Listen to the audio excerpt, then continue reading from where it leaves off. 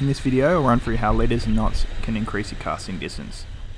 To start off with I like to keep the ratio of my braid to leader fairly close. So for my lighter setup where I'm casting 15 to 30 gram lures I'll use 12 pound braid uh, which I'm using grinder braid and then I've got around 16 to 20 pound leader so usually no more than 10 pound difference. For my heavier setup where I'm using heavier metals or plugs I'll generally go 20 pound braid and 30 pound leader. I'll have the heavier setup so that I don't snap my leader using you know lighter uh, leaders when flicking out large metals into the wind. Also, if I'm fishing heavier structure, a heavier leader will help you rip those lures um, out of any sort of seaweedy situations or if you get lures stuck on the reef.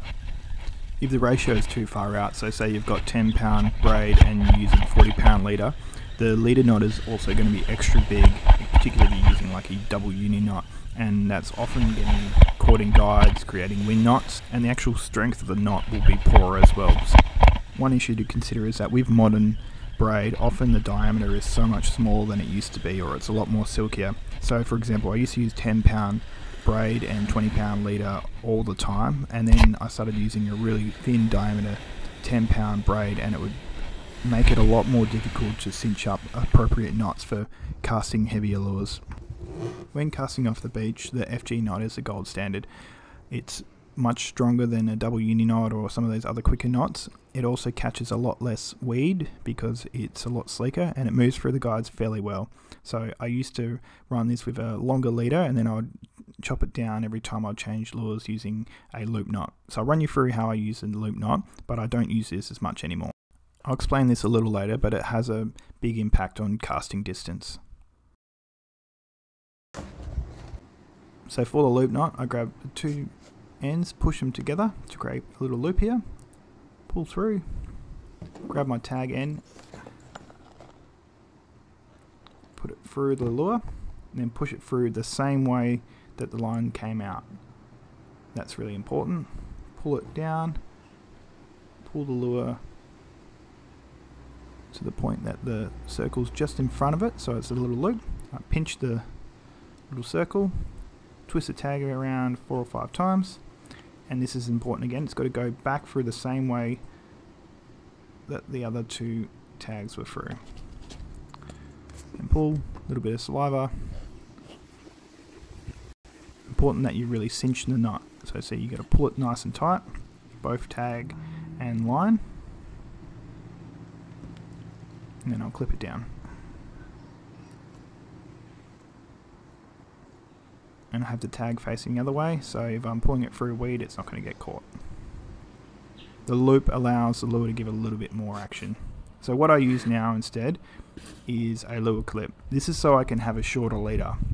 This allows it so that the knot never goes through any of the guides, slowing down the rate that the line's flying off your reel, and also reduces the weight of the fluorocarbon uh, line, slowing it down. So I like to use barrel style uh, clips.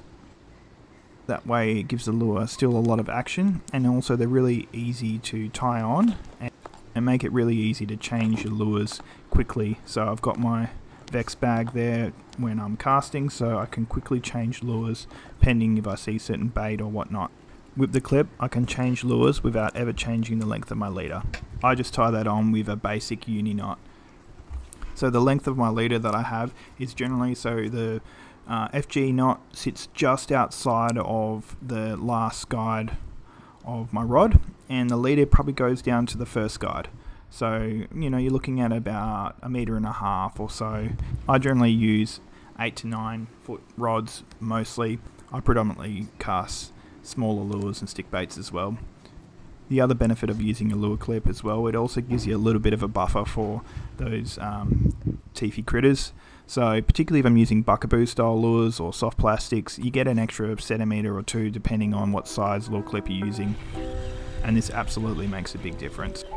If you cast lighter lures like myself, so I usually casting lures around that sort of 15 to 30 grams mostly for tailor, um, it makes a big difference to do this tiny little tweaks because every meter that you gain counts.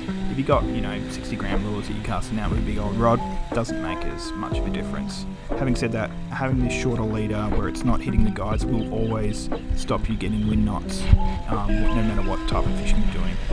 So overall, I try and match my braid closer to my leader than I used to. So I'm using 12 pound braid and I'll use 16 to 20 pound leader um, for those lighter lures. And I'll make sure that my leader length is about a meter and a half, so it's just sticking out the end of my rod, and that FG knot or WD knot, depending on what I'm using, isn't going through those guides when I'm casting.